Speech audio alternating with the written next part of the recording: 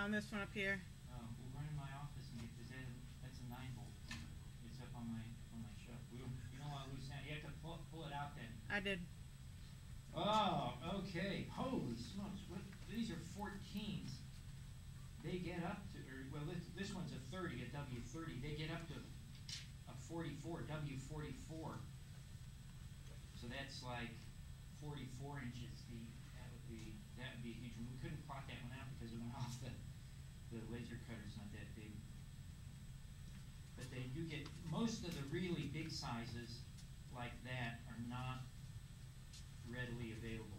In fact, nothing above thirty-six, according to this manual, is really available. I, means you could, there's specifications for it, and you could potentially special order it, but it may take a, a long lead time. It would have to be a real special app- application. A lot of very deep beams are usually welded as, as a special section. They'll be welded together as a, um, plate girder. Uh, used to be bolted, but I think they're more generally welded now. So you can get any depth you want, obviously, if you, just by welding it, and they do get very deep, uh, as ground beams or in lower floors.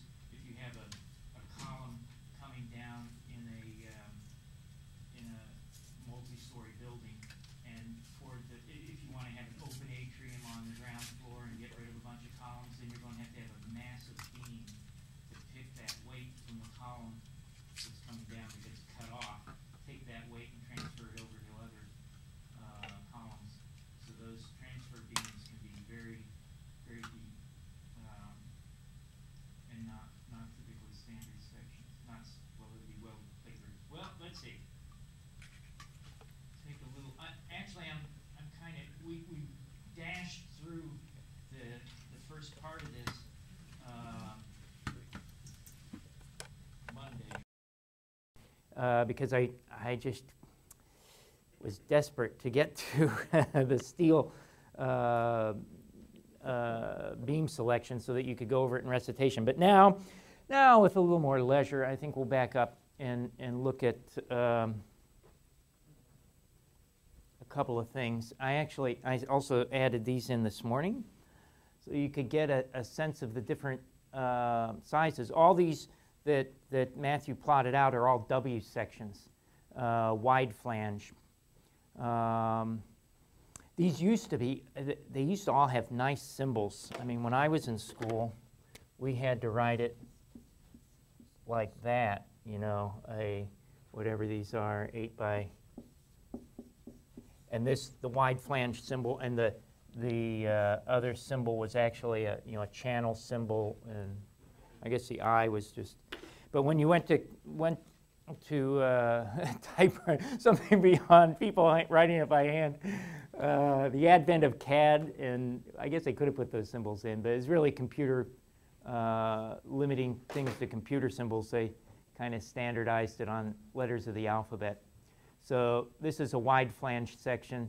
This is a, um, stands for American Standard, I believe. The- These are the old style. These were from like the beginning of time, back in the 18 something or others. If you go into very old buildings, uh, you'll find them like this. And I think the, the manufacturing process was different. I don't think they were hot rolled. I guess I should, I should go look that up and find out. But they were manufactured in a different way than these. These are uh, uh, made on.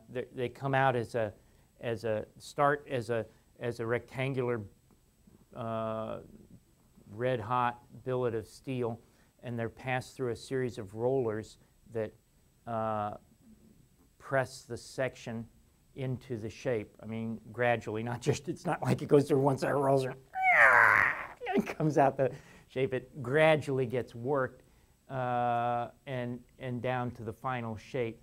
Uh, so that's hot rolled steel then, is what that's called. And it's um, different. The other process that would be used commonly is cold formed.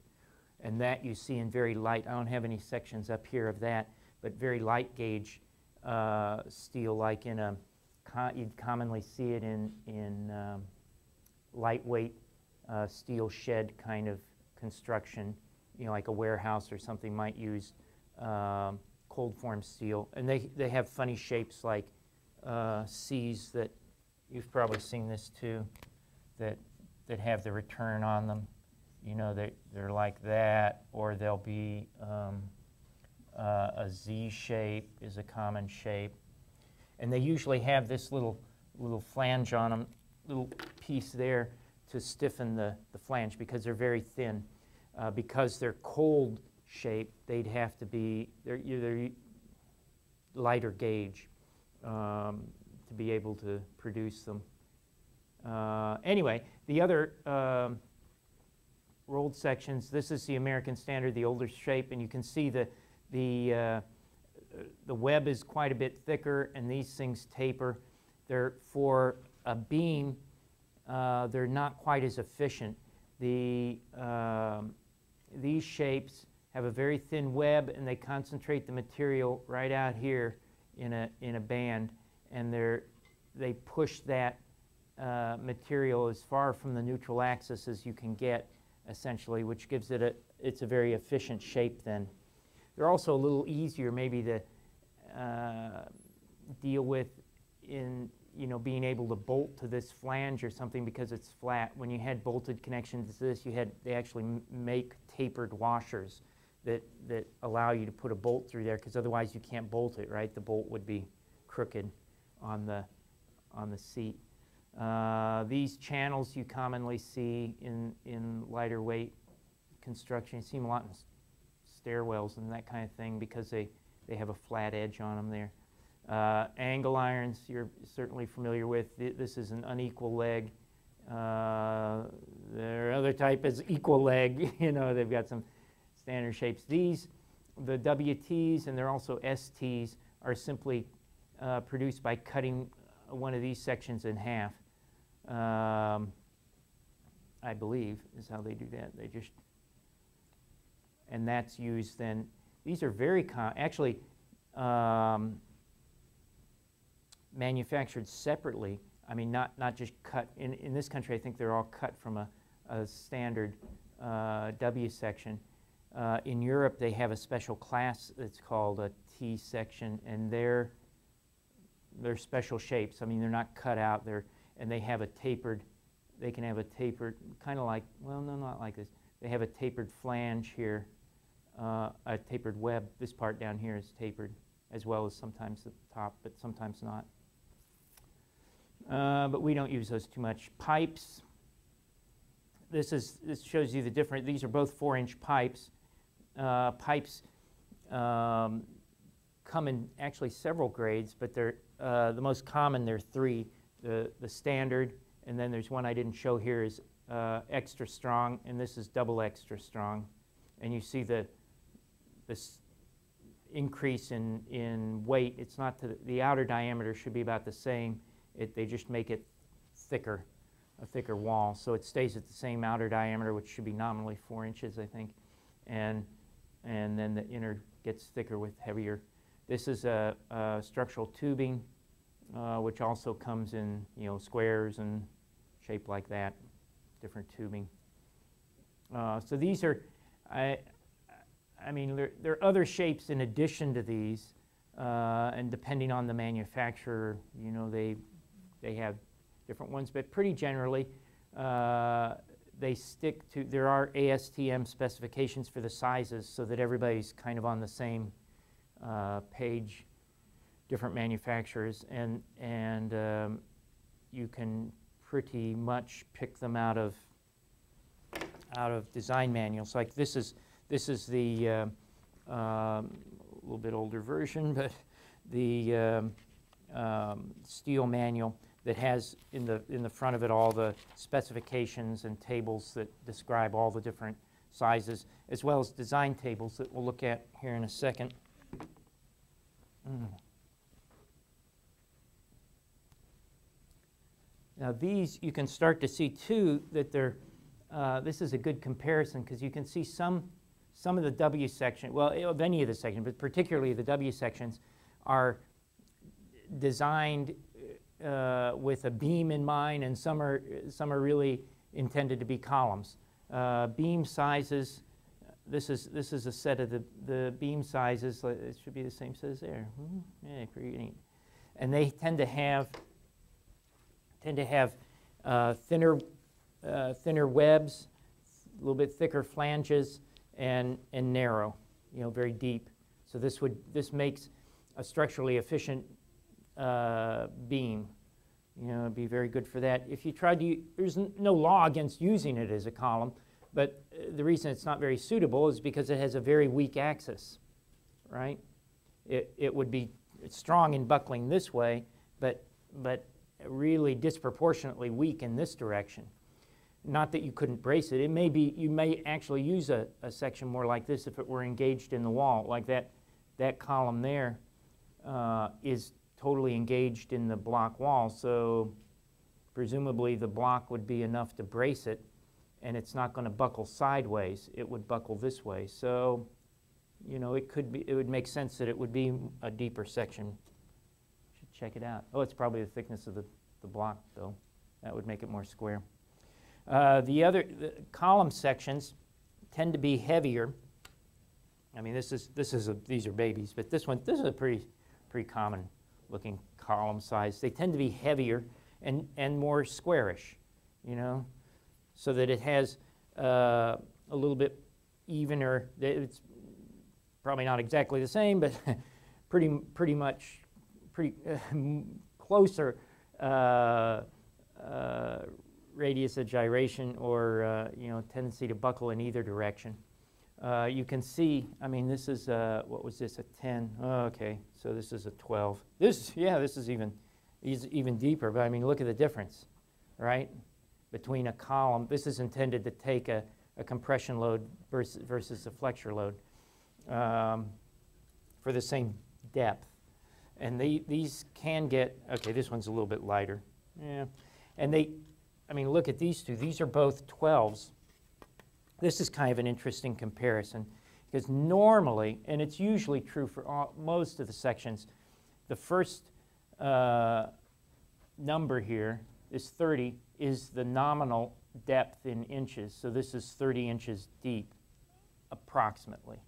It's, I mean, there's a range of them. You know, there may be, if you look in the, in the back of the book or look at a table that lists all the 30s, there may be 15 or 20 different 30 W30 sections. They're not all exactly 30 inches deep. They range, you know, maybe 30 and a half down to 29 and three quarters or whatever. I mean, there's a range.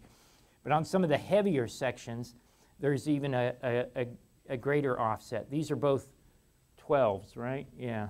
So this, this is nominally, I think, pretty close to 12. This one, because the flanges are so thick, I mean, if the inner dimension is still 12, uh, but you can see they, they didn't measure it to the top of the flange. It's measured uh, not really to the bottom of the flange either, but somewhere in there. Um, so those are both W12 sections, but on the really thick ones, it's not exactly nominally 12. It's probably 14 or something. I don't know what that is. But this is a this is a beast of a section too. I mean, this the second number is the weight, right? 336. Uh, Oops, how do we get that one so high? Oh, I mixed them up. Sorry, I should have been comparing it to that one. Oh, oh, I screwed up, didn't I? This was a, th- oh, okay, lied to you. These are all 14s. These are both 14s. Oh. But it's still, it still tends, you still see the difference. I should have a lighter 14 in there. You sure this one, are you sure this one wasn't 14?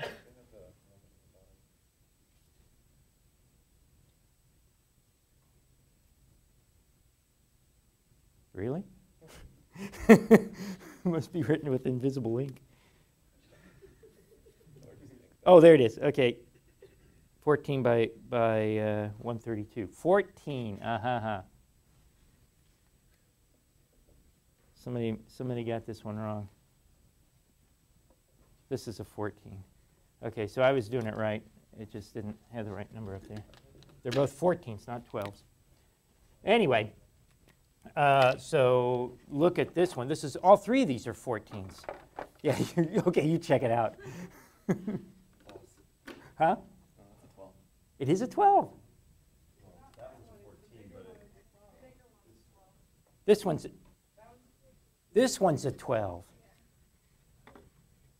Oh, there we go. Okay, they go like this. Okay, I looked. All right, I read that one and okay, all right. You had it right to begin with then. 12. Oh, yeah, you're right. It is a 12. Ah, sorry. All right, well, that's interesting. Man, that's even. Was this what I held up? Yeah. Okay, I must be going crazy. All right, that's 12. These are the 14s. Anyway, look at this monster. This is, this would really be something. I, you'd say you'd maybe like a piece of a foot, maybe to just to rest on the corner of your desk, but it's 730 pounds. This is the weight, 730 pounds per foot. So if you just had a piece of it, a foot long, 730 pounds. Can you imagine? You couldn't even, no, you couldn't pick it up, could you? You couldn't even, both Matthew and I couldn't pick it up. The three of us couldn't pick it up. I, we'd have to get half the class there. Ugh. So that would be, so that, anyway, so that shows you the range. And you get a sense of the, the, uh, the difference then between the, so, so if somebody showed you this, you should be able to say, yeah, that's probably a column, versus somebody showing you this, you could probably say, yeah, that's probably a beam, um, just based on the dimension, I mean, the distribution of the material. Um, you can see, this was a uh, picture we found too. Doesn't show it real well because of the angle, but this is definitely a square, more square piece here, and these are these are a little bit deeper. The the uh, the beam pieces. You can see too what looks like stiffening there. That's hard. To, this isn't a very good picture to see the detail, but it looks like there's very often right where the connection comes together, they'll stiffen the the flanges. There's a plates are welded in here. That's probably what he's doing. Looks like he's welding something welding this, this plate in here, maybe. Those stiffen it against uh, shear and also brace the, the flanges. Um, right. Now, yeah, we kind of brushed by this table too. This is, this is of all the tables, the most fabulous. Ta- Unfortunately, you're, you don't have a copy of it in Engel. It's really a pity. But this is the table that the steel manual produces to do, to do uh, beam design. And it is, it is one fabulous table. It is something, you should get a copy of a steel manual just to peruse this table. It's not like it's just on one page. Look at this. Wait a minute. Let me, let me show you this. Here it goes. It starts on page 149 and it goes this is all one table. It goes for pages and pages and pages and pages and pages and pages. And what you've, what you've got essentially with each one of these pages, you have to imagine that there's this huge graph, right?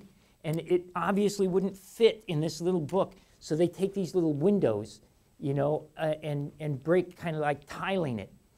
And, and I always really wanted to take all those tiles and, and maybe Xerox it and scotch tape it all back together, which I started to do one time. But you can't really do it because every one of the, well, not every page, but a lot of the pages are at different scales. They're not, they, they just scaled it to what was uh, convenient to show, because in some parts of the graph it's very dense and it's, you know, things are happening fast, and in some other parts it's, you know, there's a different scale to the way the curves are going. I guess the lower ones and so you can't just, I mean, you could try with a Xerox machine trying to scale it into it, but that just, just does not work. I can tell you for sure, having tried it. it you never get it to work. So you never get these all, and, you, and I've never in my life anywhere seen this table as one sheet, just all together. And I think it would be a fabulous, thing. I mean, don't you? To see that all is just one. Because what it does, it charts kind of the behavior history of, of every steel section. Here they all are. Each one of these is a different, a different uh, section, different shape, and it, and it plots its uh, capacity, its moment capacity. Here's the moment capacity. It plots it over, over extending lengths.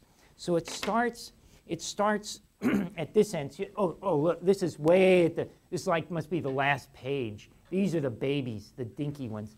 Okay, starts down with, this is how closely it's braced. It could be the span, but it could, it, it's really not the span, it's how closely it's braced. So because the bracing makes a big difference, right?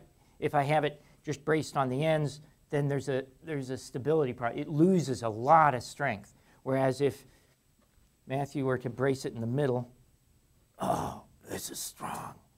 Just, just one hand there. Look, take your hand off. That's a strong hand. Look, look. Nothing. All right, put your hand back up. Oh! It's, a, it's an amazing difference. Oh! So, and what happened there, I mean, we went from whatever, not quite four feet. As, as, you're, as you're going down this bracing, look, look what the strength does. Say, say we had this section here. Here at four feet, it's only, only has a capacity of two and a half, whatever these are, moment, uh, kip feet. Well, okay, kip feet is, is actually something. But if you, if you put your hand in the middle of it at two feet, boom, it jumps up to, it doubles. It doubles in capacity. Just by, just by putting your hand there. Well, maybe you have to be pretty strong, but you know, if you are like Matthew, uh, you could probably pull it off. And, and it doubles in capacity going from here to here in this one. Some of them, it's even, I mean, look, these are way down here at, at uh, 14 feet. It has this capacity. If I brace it, as I brace it, okay, brace it at 10 feet, brace it at 8 feet, brace it at 4 feet. Watch, watch. you can see the history. This is a beautiful thing. Look at, there, you follow it. Oh, look, look, look. And then it hits this spot right here. That is, is a point, you know, we, we uh, talked about this on the board the other day. Um, I think, didn't we get, we did at least say this much about it Monday, that there are these um, levels that are reached, right? And that hollow dot there, that hollow dot is this point fully yields. Okay, so that would be uh, Fy, it yields, and you get a, a yield thing like that. So that's that, that's that little hollow dot. And, and some of them, there's not much of a range between it, but some of them, that it's got quite a little, see this, it runs along like this. That should be, represent then uh, an allowable of 0.6. And if you go further, and you, eventually you'd get to this full plastic case, this, this diagram that looks like that, right? And it's 10% more it's an increased case. So it's got a higher, and this is, this is Fy, right? And then the other ones, that, that, this represents the next plateau. See, see this one, hey, come on, where is this thing? Okay, this one is, like, all right, on this one, it's pretty short. It's that plateau right there is this level and then you go up to this one, you're hitting this plateau. So you should be able to take, see, this is in terms of stress, right? And this is in terms of moment. So, of course, the moment these plateaus are all occurring at different places because why? Why is the moment all different? The stress is all the same? Different section modulus, right? Because it's all um, the moment up here. Um, is equal to uh, the stress over uh, the section modulus, right? So if I've got different varying uh, section moduli, then, then the moment is also going to change. That's why you see, even though this, this stress here uh, is, is a constant for those different plateaus. You follow what I'm talking about? Yeah, yes, no, yeah, maybe. We could do one just for fun. Uh, how about a W10? There it is. You see this W10? Okay, there, there it is. A W 10 by 8. Is that, did I read that right? Did, uh, okay. W 8 by, oh, it's this one. Oh, look, it's that one. It's this one. Look, okay. A W 8 by 10. Okay, so what's the section modulus? Somebody's got to tell us this. Well, you could look at, there's a table in the back. Mm, there's probably a, there's probably a table on the next slide. Let's see. Um, you got to find an eight. Oh, there it is. Eight by ten. There it is. Okay, seven, seven point eight one. Seven point eight one. The moment equals uh, the stress times the section height. Really? Did I do that wrong? Right. So m. Oh yeah, you did. I did. I should never do that. I always get that mixed up. I don't know why I cannot keep that in my head. Oh, you couldn't see it anyway. It was too high.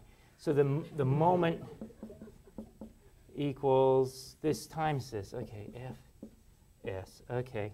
So if we want the moment, no, no. Let's. Um, we've got the moment, right? Let's go back. We've got the moment. What's the moment on that? Where that? Where's that thing? All right, right there. What is it? 15, and this is set. Oh golly, it's a little. This is it's two dots higher, so that must be 15. Oh, each one's 0.25, so that's 15.25, 15 and a half, 15. It's probably like uh, 15.6, maybe, you think? Yeah, I think. All right, so M is equal to 15.6 uh, kip feet. So if we wanted to calculate this, we could say 15.6, uh, get it into inches, divide out uh, 7.81, and that would equal what? 24. Wow, perfect. And what does, what does Engel half the time give us for uh, allowable stress? 24 or 20. Yeah, 24. 24 would then be this. If you say, uh, if Fy is, say, 36, uh, then you'd get maybe uh, 23.76 or something like that. So it's about 24. So that's what, so when you see, see, it starts to come together, right? This little plateau then is this stress, which represents this, so it's this condition. So each one of these steps, I mean, this, these from the black dot back, that, that black dot length there, with that, that's telling you that if you had a, an 8 by 10 and you braced it at least every four feet on center. So if, sound like my glass is breaking.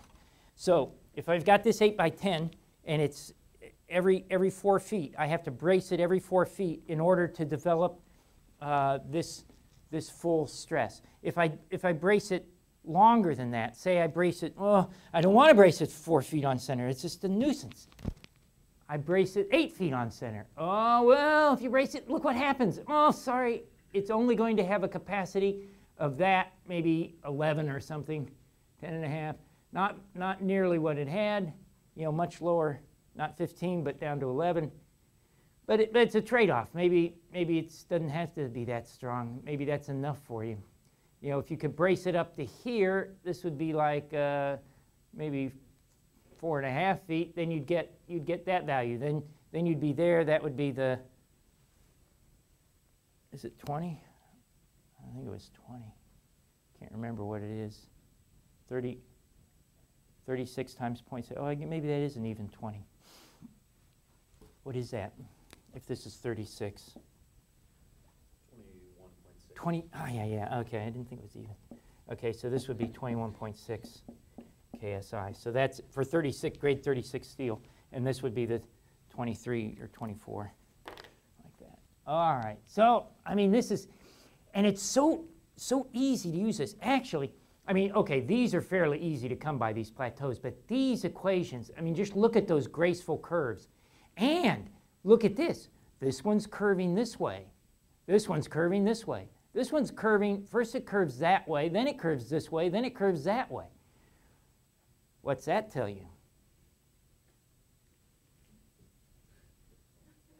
Well, it tells you there are different equations governing those curves. I mean, it's not a matter of just one equation and slap, it's done.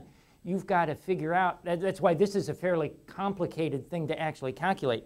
There are, I think, three different equations to choose from, and they govern at different points, so you have to know, you have to do some calculations to see which of the three equations is governing, governing at which point along the beam, and it can be a fairly, uh, and, I mean, we don't really get to this with, with Engel, but in the um, steel manual, this is, this is why the steel manual's a little bit thicker than a chapter or two. Where is that thing on?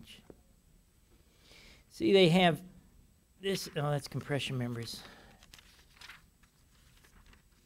Where's flexure? Yep. Oh. No. Oh, here it. Oh my goodness! I have forgotten how complex this was. Look at this. This is this is a whole page just describing which equation to use, and the equations are are like two thirds minus Fy times the you know L over RT squared over 500 and uh, 1,530 times 10 to the third times CB, which you then have to calculate on the. So I mean, just to get those equations, it, I mean, the, the stress is there for those. Uh, and the reason, the reason it's a little bit more complex is what? Because it's a stability problem. It's not just a simple P over A. It's not just simple, uh, this would be simple flexure. This is the M over S. I mean, that's not a very hard equation. M divided by S. right? I mean, you could, you might get it upside down. You might get all right, but it's, uh, there are not too many things to play with. But but this, I mean, even you've worked the buckling equation. Buckling's a little bit more complex, but this is even more complex than buckling because because it's also you know there's a bracing issue going on, and oh my. Okay, so the moral of that is that that these uh, th- these are really useful um, charts in that you can can without working all the equations you can immediately uh, and even even you as as a you know maybe not putting your your stamp on a steel drawing but but you could you could initially uh, get find a range of sizes. You know you could you could kind of approximate what your capacity was and kind of approximate the kind of members. The other thing that's that's interesting look at some of these are dashed. The dashed ones, those are the, the actual equation values there, but the reason they're dashed is because they're, they would be a bad choice. They're trying to say, no, no, you don't want to really pick that one. You want to pick a more efficient one. Like if you come across, say you were, say you had a bracing of eight and a, uh, a moment that you had to carry of 10. Okay, so you'd come eight and 10, oh, it was a bad choice. Let's say six. Well, let's say, let's say you come out and you're right in here, or whatever that is, 11 and 6 and something. And then that means all of these uh, would fail. These are not, anything that's from that point, anything that's down this way would fail, would be inadequate. Anything that's this way passes. So if I go here, this one would pass. That's a 12 by 10.8. This one would pass. That's an M, miscellaneous section, 12 by 10. But this one also passes uh, a W8 by 10. And it, it's lighter than either of these two. It's lighter than the 10.8, certainly. I guess it's a little bit lighter than, than that 10 is nominal. So it, it should be the best section. You can go further than that. Of course, there's nothing stopping you from picking these sections, but these are all heavier 13, 15, 12. So, so this is the first solid black line that you hit, is, is the, the best section for you, the best section for that uh, load right there. Yeah, neat, huh? That is, that is one incredible table. Well, it's not one. I wish it was one, but it's, it's an incredible table nonetheless. This is the, this is the table that's in, in our textbook, uh, and there's also a copy of this in the steel manual. This is also pretty useful. Um, in a lot of cases, you do have it fully braced, and in that case, uh, you can design it. Uh, I think this is the way we did the one um, last time, didn't we? Monday, we actually worked an example, and the, the one that you do on the on the computer problem is worked like this, that you um, either either in analysis, you know, if you're um, this would kind of be an analysis situation, I suppose. The actual stress is MC over I, which is the same as M over S, and you compare that to the allowable stress, and you make an assumption about the allowable stress. It's either, uh, this is for A36. There's also another grade steel, it's probably more common now, A50, or, or not, it's not A50, 50 KSI steel. It's got some other number, 500, and what is that called, you know? I can never remember the name of it, that doesn't matter. Uh, but it's a 50 KSI steel, is um, stiffer, but not quite as ductile. Uh, I guess it's ductile enough for construction, it's not brittle. Uh, it is mild steel. Uh, mild steel means it's got less carbon in it, right? I think. You know, when you have, like you have cast iron, it has, has a lot of carbon in it. Besides, you get it out of the ground, you met, and, and if you've ever dealt with something cast iron, oh, one time, I'll tell you my experience with cast iron. I had a pulley that was, was a cast iron pulley, and I was trying to get it off or on, I can't remember anymore. And I thought, well, it just needs a few taps. So I took a, thinking very, a brass hammer, you'd think, oh, it's soft, okay, and gave it a few taps. It wasn't going to move, and I gave it a good whack and broke it. That was not a good thing because then I didn't have the pulley and it was hard to replace. But it, it breaks, it doesn't bend. You shatter it like it's made. You got to think of cast iron as being stone almost. It's brittle. Um, you can't bang it around. I mean, it's not quite like stone. If you drop it, it does have a certain ductility, but not very much. And when you go through the, you know, you probably learned in, in back in grade school, maybe fifth grade or something, the Bessemer uh, process for producing steel, right? And you, you have it in this big tub, and you blast oxygen on it, and it, what you drive, all these sparks come out, and, that, and with that, I think the carbon. I think you're driving off carbon, if I remember. I haven't thought about it really since fifth grade, but it seemed to me, I remember, that you, you're blowing off the carbon. And what you're left with is then the steel, a purer steel. It's gotten the impurities out of it, the impurity being carbon. And, and that uh, is,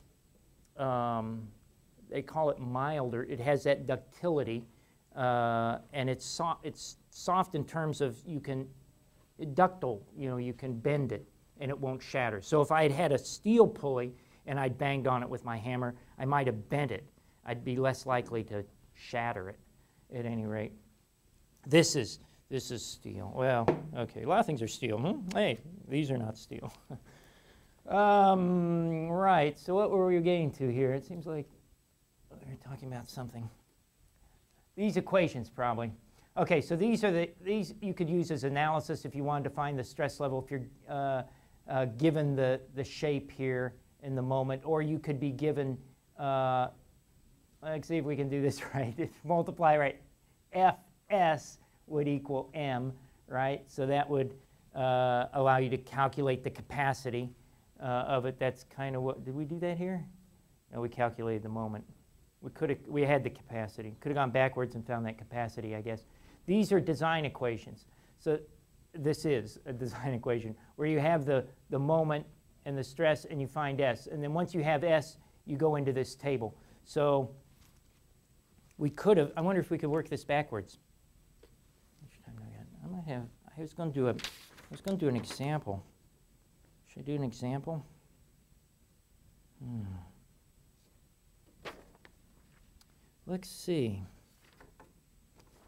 Maybe I could. I could. Where'd my marker go? Oh, all right, all right. Let's do, let's do an example real quick, just to put some numbers to it.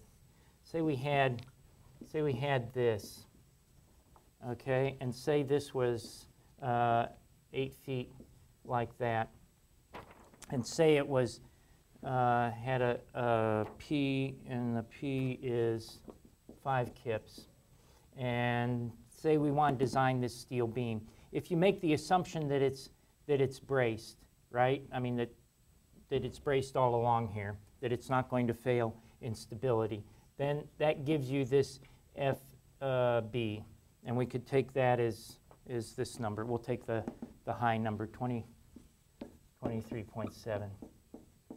Okay, you know the moment, right? Probably in your head. 20? Whoa, good job. 20, which I guess is from PL over 4, which equals 20. Okay, kip feet. Okay, so we can calculate the SX, which would be, uh, what do we say then? FM I'll always screw this up if I don't write it. F equals m over s. So that is, see, wrong. Okay. m over f.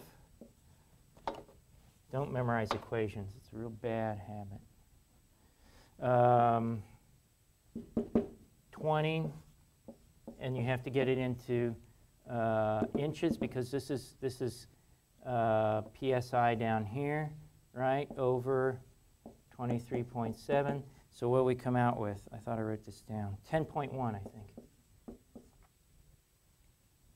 which is in inches to the third. So what do you do with that? 10.1. What? Huh? What are we trying to do? We're trying to pick a section. This is design. This is design. 10.1 well, you got to come down the list until you hit 10. Whoops, too far. This one, you can, it's hard to tell, but these are bold, and they're in groups. So this whole group passes. This would, well, these would all pass. All these pass, but you want to go as far down as you get. You get smaller and smaller. This 10.9 is as close as we can get without going. If I go to 7.8, that's too small. That one would fail. Oh, oh, it fails. Okay, no, we got to go up to a 10 by 12. Okay, a 10 by 12 would do it. That would do uh, 10.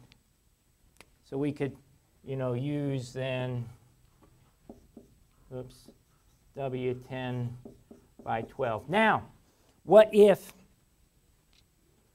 what if I didn't want to brace it entirely like that? What if I say it's only braced at, say, uh, this point in the middle, that it's unbraced over eight feet. The difference it makes, if it's, it's only got that, that um, one brace point here, then it's not supported. The difference it makes is in this. Now you don't know that. And if that's not, if, it's that, if that's not given to you, then you're really better off going back to the, the this beautiful table, and now you see how valuable it is. If I pick the number that's on here, I hope I did. What's the moment here? 20. So, mm, 20. There it is. Okay, good. And, and 8 feet. So you've got to come up 8 feet, 20. There it is, that point. And if I go up right there, 12 by 16 is that one. That's a 12 by 16. So I'd have to use, if I only had it braced like that, I'd have to use a W 12 by 16. And that should be bigger, right? Hopefully bigger than what I had before. Because if I brace it, if I brace it more, then it better, I mean, I'm, I'm hoping it will get smaller, right? If I brace it less, then it's more likely to, to buckle, huh? So to, to, to uh, withstand that, it has to be bigger. So, is it? Yes!